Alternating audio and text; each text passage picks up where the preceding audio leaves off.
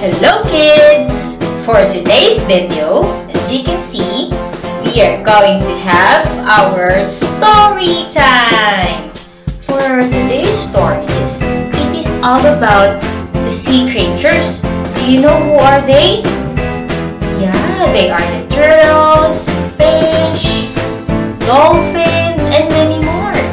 For our story today, the title of that is Lemon Fish is Sour.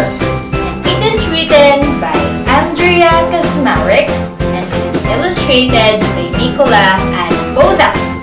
Alright, let's start. It is the same as every day in the sea garden. So you'll have to look at the pictures.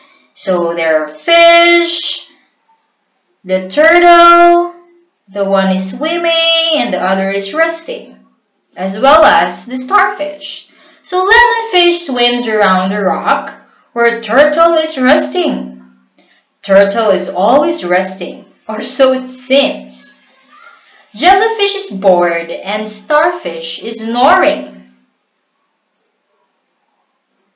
The baby lemonfish are swimming around playing shark chase. Oh, what kind of play is that?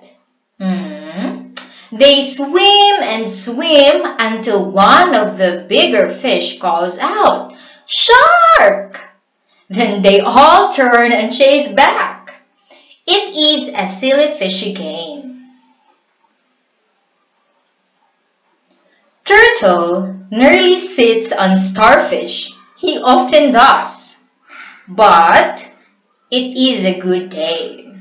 Until, oh no, what is it? A shadow covers them. Look at that, it's so dark. Lemonfish, turtle, jellyfish, the starfish, and the baby lemonfish swimming this way and that, playing shark chase. And they all look up. It has gone dark, very dark.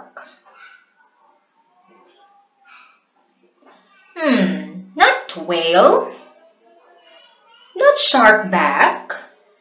It's coming down towards us. Lemonfish blobs.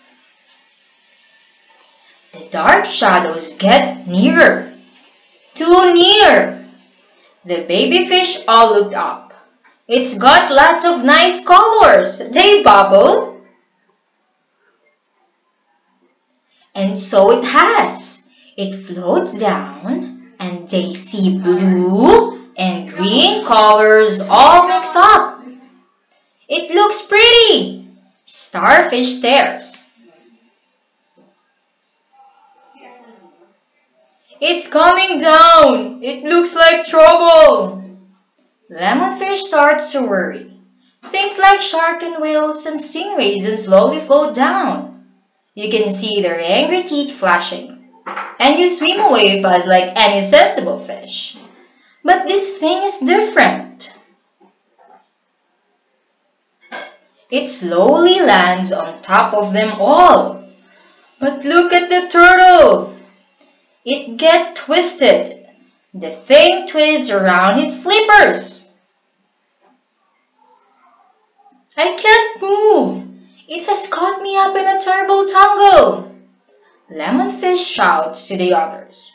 Flap your fins as hard as you can. Make waves. We can free Turtle if we all try hard. And they all do just that.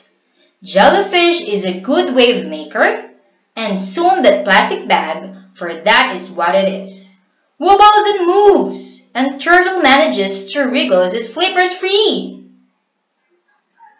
But that nasty plastic bag doesn't stop there. It floats down further and covers all the baby fish. Flap your fins. Lemonfish shouts again. Flap and flap. And when it moves, swim away. Swim like you are playing shark chase. All the baby fish flap. Jellyfish makes waves. Turtle flaps his flippers. And bit by bit, the plastic floats up and down. When it floats up, The baby fish swim out as fast as they can. Go, go, baby fish! Then that nasty plastic bag floats back over the rock. Oh no, look at the starfish! Now the starfish gets covered with that terribly floaty plastic bag. This time, Turtle is braver. He bites with his sharp teeth onto one end and pulls and pulls. Be careful, Turtle, Lemonfish calls.